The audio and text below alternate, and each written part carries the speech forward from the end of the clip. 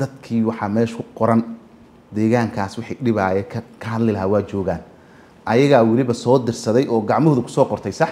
Siciidani naftiisaa soo qoray xildhibaanada therefore goormuu dhihi karaa aniga unbaa mataqaanaa saxan. Asaga ayaa soo qortay dowlad goboleedyada ayaga afkooda ka sheegteen processkii sidii loogu talagalay looma soo filina boqol iyo kow ergama soo waxaynina calaa kulli xaal ayaga ayaa mataqaana lixdameeyo xubnood oo labada aqal matalaya puntland ka soo jeeda.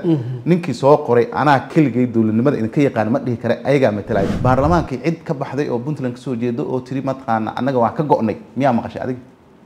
Ma- maamul markaas jira oo laga yaabo xataa haddii si sax loo qiimeeyo inaanay wada ahayn nuxurka waxa meesha ku qormaya ee laga yaabo inay tahay mataqaana ujeedooyin kale oo siyaasadeed laga leeyahy baa yiri mataqaana annaga gooniyaan ka istaagnay puntland waxaad ognahay dowlad dhiska iyo dastuurka ku-meelgaarka hadda laga sii gudbayo doorkii ay ku lahayd in soomaaliya dastuurkaas ay yeelato. Looma joojin oo madaxweynaha dhowr mar oo masaajidka wuxuu ka yidhi cid kastoo si kasta u qaylis loo joojin maayo dastuurkan waa u soconaya ma maqlin aniga intaas. Eh, puntland markii baarlamaankii ansixiyeen waxay tiri waxaan xiriirka u jirnay dowladdii dhexe ku darso oo somaliland waan ognahay halka ay taagan tahay. Oo waxay leedahay soomaaliya waan ka go'ay. Puntlandna waa gooni somalilandna waa gooni. Dastuurkaas ma koonfur keliya loo adeegsanaya dastuurkaas dowladda soomaaliyeed u adeegaya dastuurkaas waa horta dhammaystire dastuurka waa haysanaa. Mabaadi'diisana waa taagan yihiin. Waxaa ka mid ah nidaamka federaalka sababta mataqaana puntland ay hadda gooni ugu taagan tahay ay cabashada u qabto dastuurkaana keenay waa privilege in doodaas ay samayn karto iyadoo dowlad goboleed ah. Waa wax loo baahan yahayba laakiin ogow marka inay jirto oo soomaaliya qayb waa waa inay dood qabto oo dastuurka ay dood ka qabto ayadoo ah weliba aas-aasayaashii nidaamkan federaalka aa sax ah problem ma leh.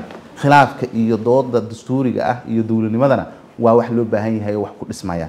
Waxaan aaminsanahay dastuurka soomaaliya jid fiican uu ku socdaa ayagana doodooda waa la dhegeysan doonaa laakiin hal qodob ogow puntland somaliland iyo koonfur iyo meel kale iyo xaggaba.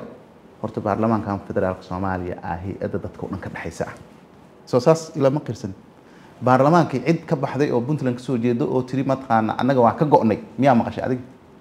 Ma- maamul markaas jira oo laga yaabo xataa haddii si sax loo qiimeeyo inaanay wada ahayn nuxurka waxa meesha ku qormaya ee laga yaabo inay tahay mataqaana ujeedooyin kale oo siyaasadeed laga leeyahy baa yiri mataqaana annaga gooniyaan ka istaagnay laakiin mar haddii mataqaana senataradii lagu matalaayo oo si gaara u matalaayo maamulkii mar haddii mataqaana lagu matalaayo golihii shacabka mar haddii lagu matalaayo xukuumaddii oo dadkii reer puntland ay fadhiyaan ay leeyihiin waxaan u baahannahay deegaankeenna waxaan u qaadi karno. Tusaale ahaan reer puntland dad badan oo doodaya waxaa jiray ra'iisul wasaare iyo mataqaana madaxweyne ayaa loo baahan yahay lagu soo celiyo.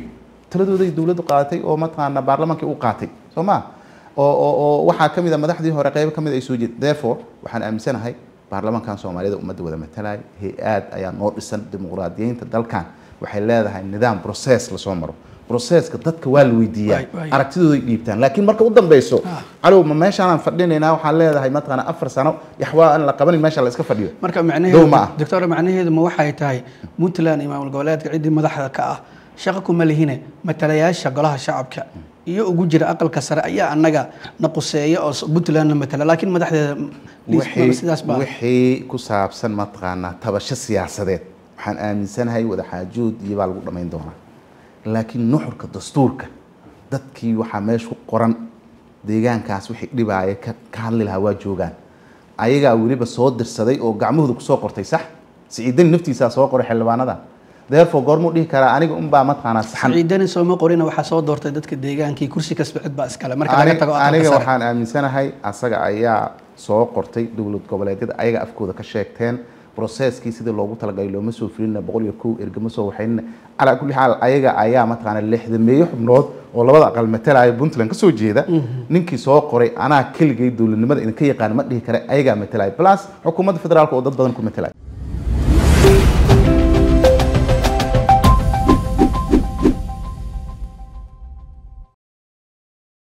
internet balas waa adeeg ay macaamiishu ka heli karaan internet fiber ah oo xawaarihiisu yahay labaatan megabytes per second. Ayna la socdaan rasiifar ay ku jiraan in ka badan afar kun oo kanaal iyo boqolaal daqiiqado oo ah ku hadal bilaash ah